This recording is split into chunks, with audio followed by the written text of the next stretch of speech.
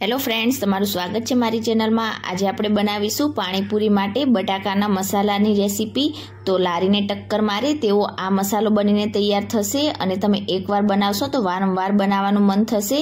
તો ચાલો ઝટપટ બની જાય તેવો બટાકાનો મસાલો બનાવવાનું શરૂ કરીએ. રેસીપી સારી લાગે તો વિડીયોને લાઇક કરજો, વધારેમાં વધારે શેર કરજો.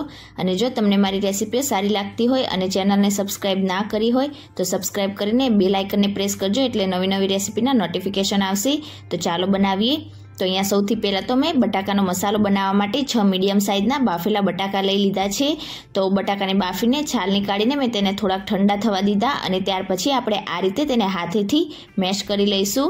તો અહીંયા બટાકાના થોડાક નાના નાના ટુકડા રહે, એ રીતે તમારે બટાકાને મેશ કરવાના છે એટલે ખાવામાં તેનો ટેસ્ટ વધારે સારો લાગશે. તો બધા જ બટાકાને આપણે પહેલાં આ રીતે હાથેથી મેશ કરી લઈશું. તો પાણીપુરીનું ઓરિજિનલ તીખું અને મીઠું પાણી બનાવવાની રેસીપી પણ મેં મારી ચેનલ ઉપર તમારી સાથે શેર કરેલી છે. લિંક નીચે ડિસ્ક્રિપ્શન બોક્સમાં આપી દીધેલી છે, તો ત્યાંથી તમે વીડિયો જોઈ શકો છો.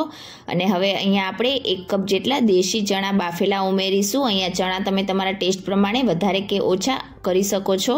એક ટીસ્પૂન બ્લેક સોલ્ટ ઉમેરીશું. અડધી ટીસ્પૂન આપણે સાદું મીઠું ઉમેરીશું. અડધી ટીસ્પૂન ચાટ મસાલો ઉમેરીશું. એક ટીસ્પૂન શેકેલા જીરાનો પાવડર ઉમેરીશું. શેકેલા જીરાનો પાવડરનો ટેસ્ટ બટાકામાં એકદમ સરસ લાગશે. તો તમે જરૂરથી એડ કરજો. દોઢ ટીસ્પૂન રેડ ચીલી ફ્લેક્સ ઉમેરીશું. અહીંયા જો રેડ ચીલી ફ્લેક્સ તમારી પાસે ના હોય તો તેની જગ્યાએ તમે લીલા મરચાંની વાટેલી પેસ્ટ કે પછી લાલ મરચું પાવડર થોડુંક વધારે પણ ઉમેરી શકો છો, પણ રેડ ચીલી ફ્લેક્સનો ટેસ્ટ એકદમ સરસ લાગશે, એટલે મેં અહીંયા તે ઉમેરી છે. એકથી દોઢ ટીસ્પૂન જેટલું લાલ મરચું પાવડર અને એક ટેબલ સ્પૂન જેટલો આપણે પાણીપુરીનો રેડીમેડ જે મસાલો આવે છે, તે ઉમેરીશું. અડધા લીંબુનો રસ ઉમેરીશું.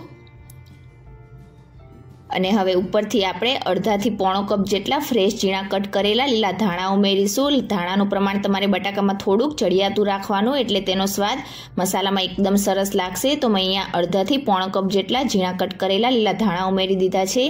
અને હવે બધી જ વસ્તુને આપણે બટાકાની સાથે ઉપર નીચે કરતા જઈને એકદમ સરસ રીતે મિક્સ કરી લઈશું.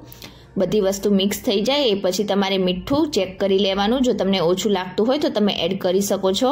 પણ અહીંયા આપણે જે પ્રમાણે બટેકા લીધેલા છે, તે પ્રમાણે બધા જ મસાલા એકદમ પરફેક્ટ છે. તમે એકવાર આ રીતે મસાલો બનાવીને ખાશો તો વારંવાર આ જ રીતે બનાવવાનું પસંદ કરશો, એટલો ટેસ્ટી લાગશે. તો અહીંયા તમે થોડીક ઝીણી કટ કરેલી ડુંગળી ઉમેરવા માંગતા હોય તો એ પણ ઉમેરી શકો છો. પણ ઘણા લોકો સાઈડમાં સર્વ કરતા હોય છે, એટલે અહીંયા મેં અત્યારે બટાકામાં મિક્સ નથી કરી. તો અહીંયા બધી જ વસ્તુ મિક્સ કરીને તમે જોઈ શકો છો. આપણો એકદમ ટેસ્ટી અને ચટપટો એવો બટાકાનો મસાલો તૈયાર થઈ ગયો છે. આ મસાલો બનાવવામાં એકદમ ઓછો સમય લાગે છે. તમે ક્યારે આ રીતે ના બનાવ્યો હોય તો એકવાર આ રીતે જરૂરથી પાણીપુરી બનાવો. ત્યારે બટાકાનો મસાલો બનાવીને ટ્રાય કરજો. એકદમ ટેસ્ટી લાગશે. અને આજની મારી પાણીપુરી માટે બટાકાના મસાલા બનાવવાની રેસીપી તમને કેવી લાગી તે મને કમેન્ટ કરીને જરૂરથી જણાવજો. રેસીપી સારી લાગી હોય તો વિડીયોને લાઇક કરજો, વધારેમાં વધારે શેર કરજો અને ચેનલને સબસ્ક્રાઇબ કરીને બાજુમાં રહેલા બે લાઇકન બટનને પ્રેસ કરજો એટલે નવી નવી રેસીપીના નોટિફિકેશન આવશે. Thank you for watching